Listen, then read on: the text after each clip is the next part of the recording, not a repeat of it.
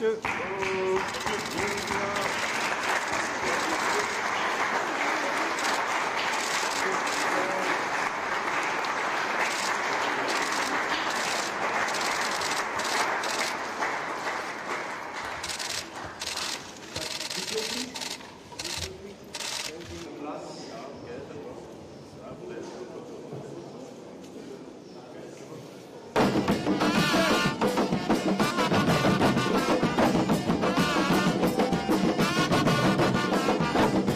Le régime colonial, comme tel, était basé sur l'exploitation et la domination.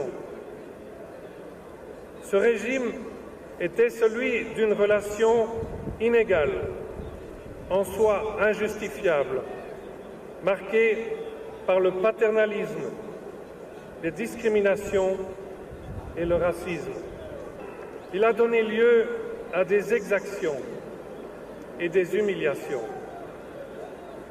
À l'occasion de mon premier voyage au Congo, ici même, face au peuple congolais et à ceux qui aujourd'hui encore en souffrent, je désire réaffirmer mes plus profonds regrets pour ces blessures du passé.